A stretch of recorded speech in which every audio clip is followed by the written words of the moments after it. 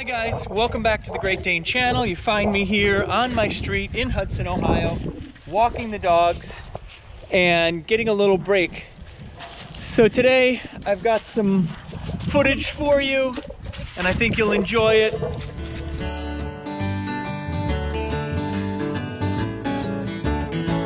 Don't want a goofy poodle with a pedigree. No, I Magic. wimpy little pooch. Don't you see? Great big dog's the only one for me. Then I'll be doing alright. Well, I got him back when he was just a pup. Way back then I could pick him up. Now he barely fits into my pickup truck. Yeah, That's what's he's in doing the alright. Magic's got And it's a great All right, I'm getting ready to take these boys for a walk. Sit.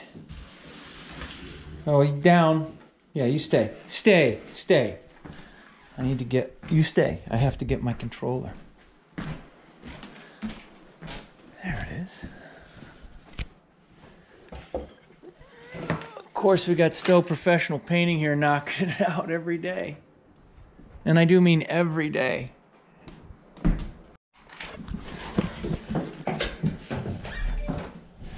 Okay. Can we sit right there, please? Sit. Hey. Sit. Yeah. Hey, everybody. It's November 3rd, Election Day. I've got the boys out here for a walk. It's to be 70 degrees, I think, today. And amazing. The house project is really getting close. Hi, Rhonda. And they took the dumpster away today, which is huge. We have a lot of painting and touch up to do, but we've got really good painters in Stow Professional Painting here.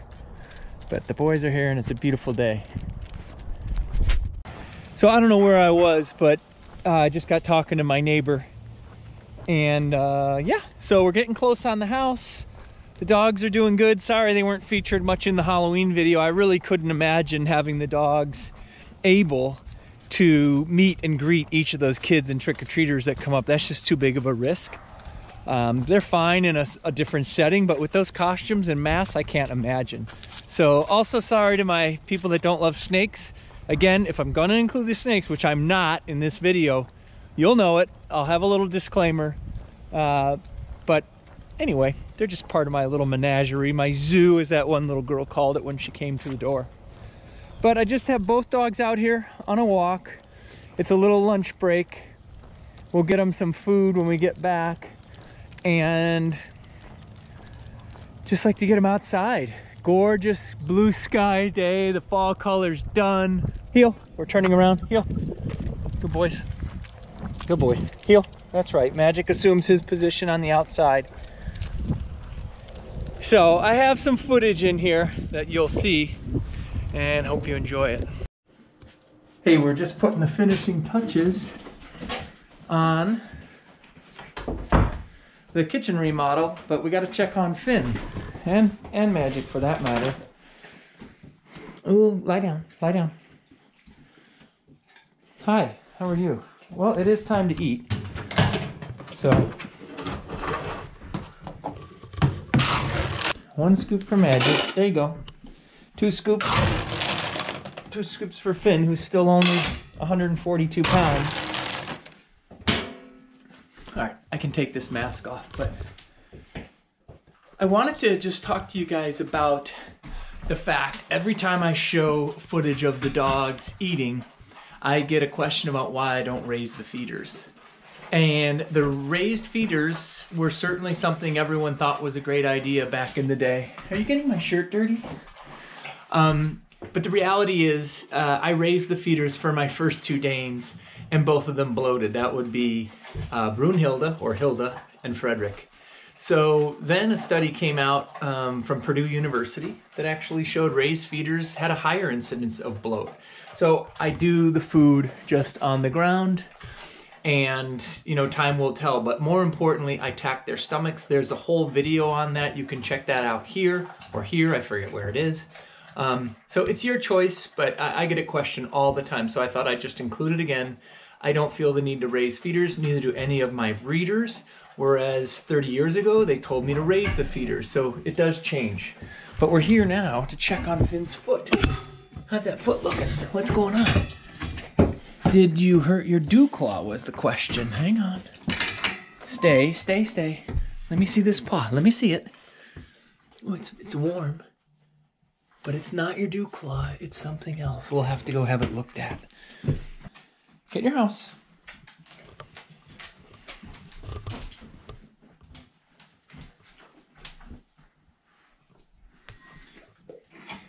Good boy. You're a good boy. And you're a good boy.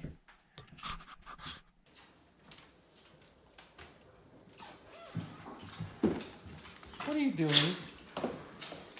Ooh, look at the pretty kitchen.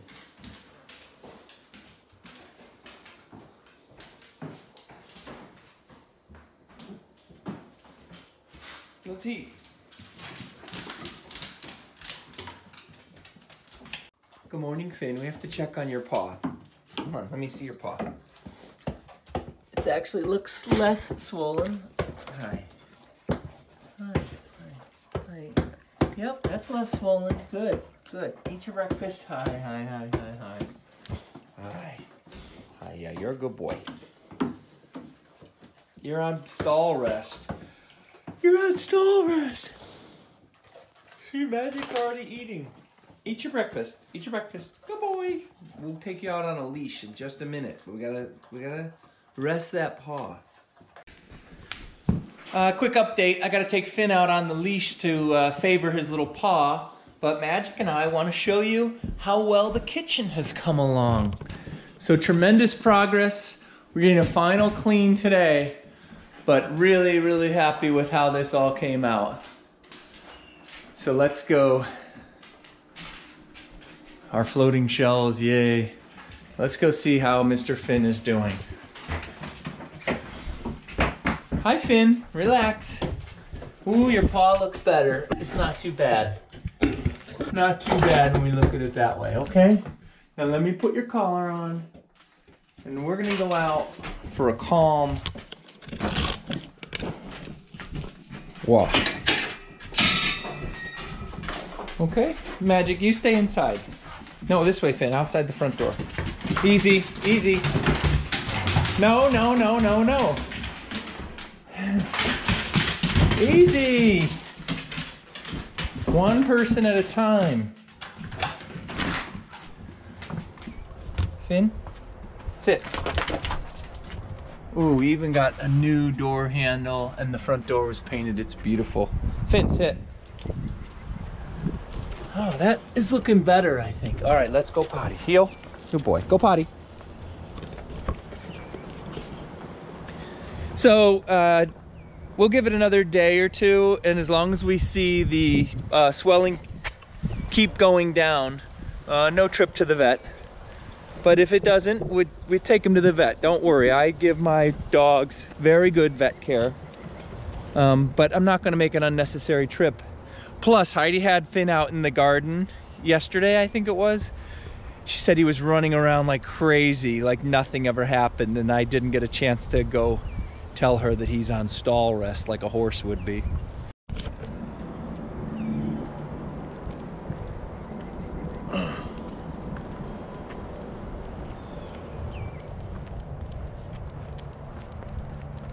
I am very excited to show you the new kitchen. Thanks to LDS Specialists, we've got an island. We got rid of all of this upper soffits and cabinets. I'll show you the before and after. A beautiful steel gray leather granite with the sink, all new white parts. We've got uh, repurposed our KitchenAid dishwasher, floating shelves from Etsy in California, a KitchenAid 36 inch hood, 36 inch cooktop gas. Bling there, this will be the coffee station. And our table from Pottery Barn, I believe, black with mismatched colored chairs and a new fixture as well. So that is the kitchen. We are good to go. Now let's go upstairs and check out the master bath and closet remodel. Well, we're going to start with a new hallway fixture, a little more updated than the 32 year old fixture. All of the doors have been painted white up here, new oval egg shaped hardware. So we've got that whole white theme up here. Let's go into the master. We took this wall out and we've got this lovely barn door here. New little addition today was when this barn door closes, we added this strip of poplar, which gives us a full closure, no light, all the privacy you want. And let's check out the master. Canyon Dawn granite countertop, new window installed. Heidi's already moved in. We've got the shower with the Grohe system. So we have the rain shower along with the handle system, little teak bench, all of the uh, shower shampoo niceties in the niche. It's a very big shower, so we can have Great Dane baths going on in here all the time. And great controls right here as you enter the shower. You can turn on those controls and have the thing heated up before you ever get there. So we're loving that. A little marmoline uh, threshold and counter, matching Canyon Dawn sill, and continuing with the white with oval. And of course, we've got uh, extra cabinets that we put in here to match. So one more thing, let's check out the master closet. So with the addition of a pocket door here, it's allowed us to have tremendous space savings and get us a full California closet, three quarters of the wall, extended into the master bedroom, giving us that open six foot by seven foot dressing room space, laundry hamper to downstairs, fantastic. So I just want to thank LDS specialist Steve Huddleston in particular, Len for the original quote and the work helping us be comfortable with the job you're going to do. You delivered. It's a fantastic project. I couldn't recommend you highly enough. We love our remodel.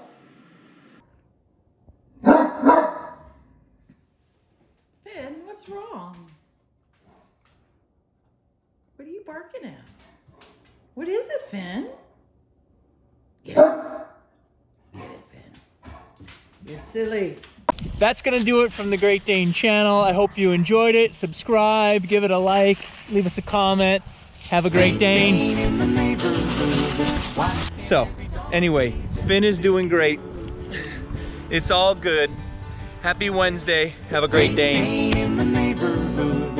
Why can't every dog be just as good?